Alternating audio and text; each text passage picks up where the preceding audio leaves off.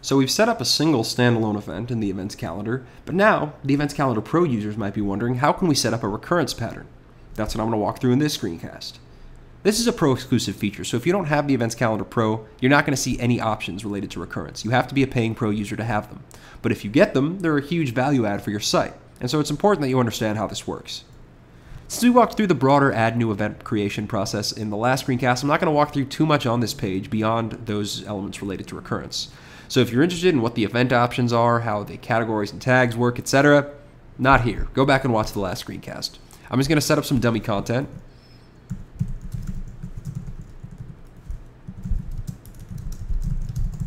And then I'm going to scroll down to the event time and date section where I want to set up the initial event in this recurrence pattern. Basically, what is the first event that we're going to duplicate for this recurrence pattern going to be? Well, that's what I select here. I'm going to keep it simple and make it an event that takes place on July 1st as an all-day event. Right now, if we were to publish this as is, we would be creating one entry that would exist on July 1st. That would be it. But I can trigger recurrence by coming down here into this recurrence section and selecting none from the dropdown and then picking the option I want to go with. Now, every day, every week, every month, and every year are going to look very similar. They're going to have this general formatting. It says the, the event is going to recur every day and will end either on a specific date, which I can determine here with this date picker, or after a fixed number of events. Whatever I want to do, it's going to be the same pretty much consistently for all of these, every week, every month, and every year. What I'd be saying in a situation like every week is, I want this event that starts on July 1st to occur every week, but only occur another one week beyond the one that it's already set up as. So what I would be doing in this situation is I'd be I'd really create two events. I'd have the initial one, and then I would have the recurrence so it recurred one week after that. More realistically, I'd probably want to go with something like every week and then end after 52 weeks, that it took place this week and then the next 52 weeks from there. Basically, this week and then a year afterwards. Below, I have a recurrence description field, which is a new feature in the 3.0 release and is important to keep in mind.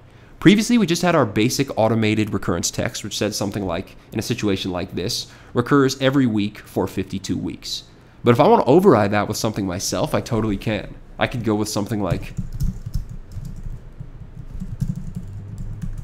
and the system's going to allow me to have it. We'll see this in execution on the front end, but if I were to look at a recurrence pattern and hover my tooltip over the location where it lists that this is a recurring event, it would show me this recurrence description instead of the possibly more useful one that is automatically generated by this. If I want a nice, useful auto-generated one, I can easily address it by leaving this field blank. It's important to note that these four, as I mentioned, are consistent, but custom really gives you some additional options. Notice when I select custom, it triggers this new frequency option. I have frequency daily, weekly, monthly, and yearly, and those do give different options specific to each. And this allows me to make really randomized recurrence patterns to the most random extent that we can do at the moment. Let's say I select weekly. And let's say I want this event to occur every one week. And it's going to occur on Monday, Wednesday, Thursday, and Saturday. What we're saying is we're setting up an event that starts on July 1st. It's going to go 15 times. And those 15 times are going to be made up of weekly events that are scheduled on Monday, Wednesday, Thursday, and Saturday. Sort of confusing on the back end, maybe, but we'll see it in execution on the front end. It'll make a lot more sense. And again, this is one of the more complex patterns you can go with. A lot of situations, if your events aren't random, you'll be more than satisfied with just something like every day, every week, or every month. Don't need to worry, I'm going to skip the location for the venue and I'm going to skip the organizer entirely, leave them to whatever they default to because we don't care about those here. Once I'm satisfied with the recurrence pattern itself, I'm going to publish and I'm going to watch what happens both here on the back end and on the front end. Here on the back end, you'll notice it changed the URL a little bit. No longer does it just show pro.tribe slash event slash my event URL, but it's added a date to the end of that, which suggests to me there are going to be multiple entries and they're all going to be separated out by separate dates. That's exactly how it is going to behave. So let's go check it out on the front end. I'll view event. I'll go look at my event here. And we're going to see that we are on the first entry of Rob's yoga class. It's the one that takes place July 1st, and that is the kickoff to this recurrence pattern. Here I have this recurring event option. If I hover my mouse over it, we'll see the tooltip brings up the exact terminology that I popped in on the back end.